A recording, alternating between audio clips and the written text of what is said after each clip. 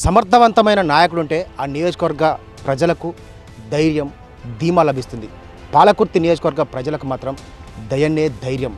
So ప్రస్తుతం గ్రామానికి ప్రచారంకు వెళ్తున్నటువంటి దయాకర్ గారు మనతున్నారు సార్ చెప్పండి ఒక మీ కాల్ పాలకుర్తి నియోజకవర్గంలో ఎవరిని పలకరించిన ఎనిమిదేళ్ళ బాలు నుంచి మొదలుకొని ఎనభై ఏళ్ళ వృద్ధుల వరకు కూడా ఎవరిని పలకరించిన దయన్న దయన్న దయన్న అంటారు. అసలు ఏంటి ఆ- ఆ లాజిక్ ఏంటి? ఆప్యాయత ప్రేమ వాళ్ళ ఇంట్లో ఏ కష్టం వచ్చినా దయన్న ఉంటాడు. ఆదుకుంటాడు అనే ధైర్యం. నన్ను మంత్రి గారు అన్నారు దయాకరావు గారు అన్నారు. చిన్న పిల్లలు కూడా దయన్నే ముసలోళ్ళు కూడా దయలనే అంటే ఒక ప్రేమ అభిమానంతో పిలిచే ప్రజలు నాకున్నారు. వరంగల్ జిల్లా అంతా కూడా అట్నే పిలుస్తారు. సో ఇప్పుడు పాలకుర్తి నియోజకవర్గంలో ప్రజలు మీరు గ్రామాల్లోకి వెళ్తుంటే ఇంకా మీకు ఎటువంటి సమస్యలు మీ దృష్టికి వస్తున్నాయి? ఇంటింటి ప్రచారం చేస్తున్నారు. ఆ ప్రజలు మీకు ఏ విధంగా ఆదరణ అంటే ఏ విధంగా ఆప్యాయత చూపుతున్నారు? సరే మీరు నీళ్ళు తెచ్చారు. కరెంట్ ఇచ్చారు రైతు బంధు ఇచ్చారు ఇంటింటికి నీళ్ళు ఇచ్చారు రోడ్లు వేశారు.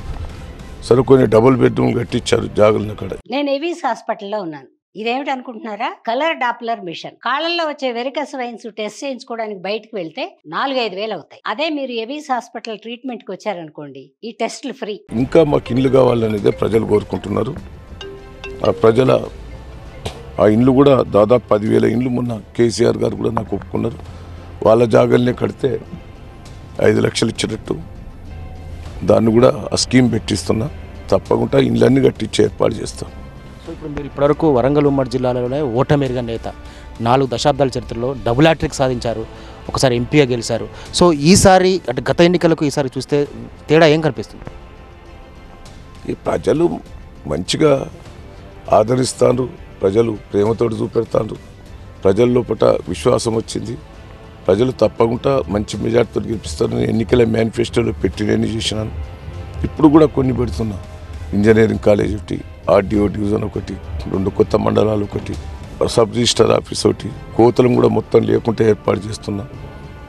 ఇండ్లు కూడా పేదవాళ్ళందరూ కూడా ఇల్లు కట్టించి ఏర్పాటు చేస్తున్నా. ఉద్యోగాలు కూడా గతంలో పదివేల మందికి ఇప్పించిన. ఊరూరుకు ఇప్పుడు ఒక వంద మందికి కోచింగ్ ఇప్పించి ఉద్యోగాలు ఇప్పించాలనేది నా ప్లాను. మహిళలందరూ కూడా పదివేల మందికి సంఘ మన సంఘ మండలం టెక్స్టైల్ పార్కులో వాళ్ళకు ట్రైనింగ్ ఇచ్చిన దాదాపు మా ట్రస్ట్ డబ్బులతోటి ఇవన్నీ కూడా ఇప్పించాలనేది ఆలోచన చేస్తున్నా. ఒక విజన్ తోటి పోదామని ఇక డెవలప్మెంట్ మ్యాక్సిమం చేసిన. ఇంటింటికి ఏదన్నా ఒక స్కీమ్ పెట్టాలనేది నా ఆలోచన.